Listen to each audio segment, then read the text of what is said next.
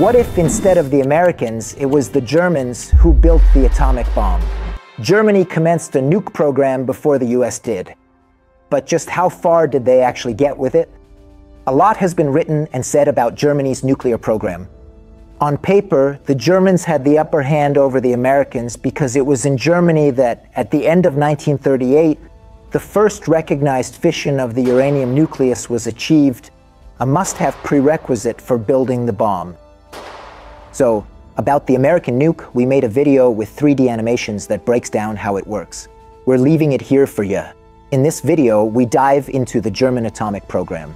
Like we were saying, to get a nuclear device to work, you need to split the atomic nucleus, meaning you gotta crack that nucleus open and let loose the energy inside. The first time heavy element fission, like with uranium, was pulled off was in Rome back in 1934 by Enrico Fermi's research team. Thing is, they didn't even realize what they'd done. And the official discovery of fission didn't happen until December 1938 in Germany, thanks to two physicists, Otto Hahn and Fritz Strassmann. When Hahn and Strassmann let the cat out of the bag with their groundbreaking findings to the whole world, physicists began to figure out how to unlock the vast energy packed inside matter and then use it for both peaceful purposes and to build massively powerful bombs.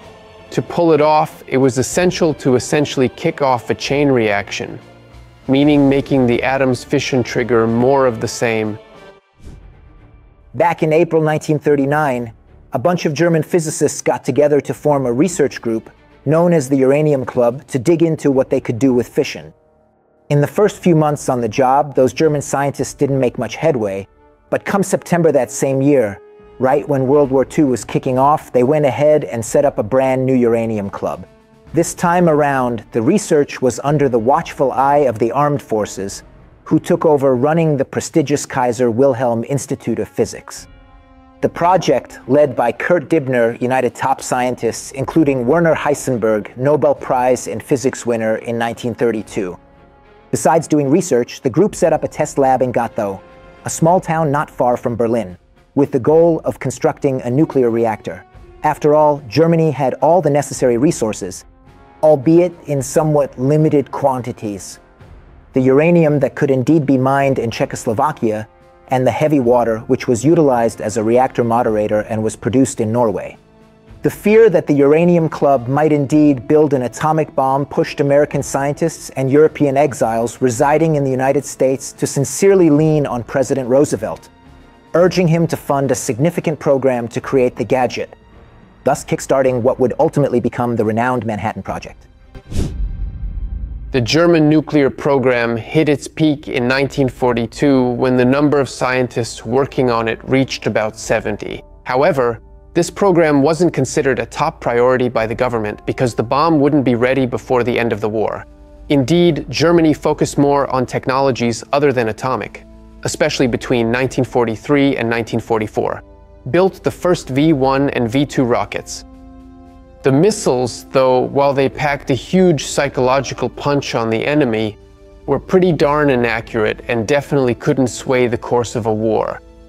In 1942, the armed forces relinquished control of the Kaiser Wilhelm Institute, which then went back under the protective wing of the Kaiser Wilhelm Society.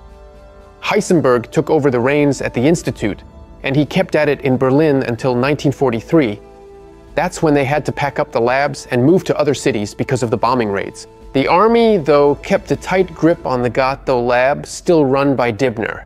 So what you had were two separate research groups, along with a bunch of smaller research outfits, all doing their experiments and studies till the end of the war, but they were pretty much at each other's throats the whole time. The German progress was way slower than the Manhattan Project, which, as we know, went ahead and dropped the atomic bomb in the summer of 1945. It's completely impossible to accurately say for certain if and how close the German scientists were to actually building an atomic bomb, because those plans were strictly top secret. Seems like they were pretty far off the mark, though.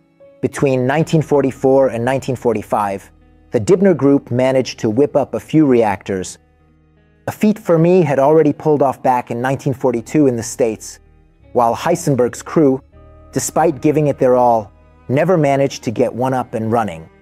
The Germans could have at best come up with a dirty bomb, That is, a device not based on a chain reaction, but still capable of spreading radioactive material.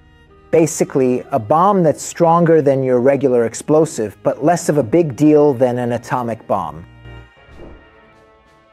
While the war was raging on, the Allies didn't have a clue about the progress of the German project and, worried it might lead to some dangerous outcomes, they set up a bunch of military ops to mess up Germany's facilities and labs. They also kicked off Operation Alsos, which was specifically aimed to capture enemy technology and scientists. Two years later, upon taking control over Germany, they successfully nabbed the top German physicists and securely detained them in England. The scientists were still cooped up on August 6, 1945, when the little boy bomb wiped out Hiroshima, and they were shocked to find out that their rival colleagues had managed to pull off the atomic bomb. A bunch of things kept the Germans from succeeding. Initially, the regime and allies made many scientists leave, partly because they were Jewish, partly for opposing dictatorships. As a result, pretty much all the top physicists of the time were hanging out in the United States. Also, the way they set up the two programs was way different because, unlike the Manhattan Project, in Germany they didn't put together just one team to work on it. In the end, the Germans' budget was much lower than the Americans. It turns out their project funds were a thousand times less than what was sunk into the Manhattan Project. So, for every mark they spent, the Americans dropped a grand. Guys, Hope you enjoyed this story. Big thanks for tuning in, and I'll catch you in the next video on Geopop Everyday Science.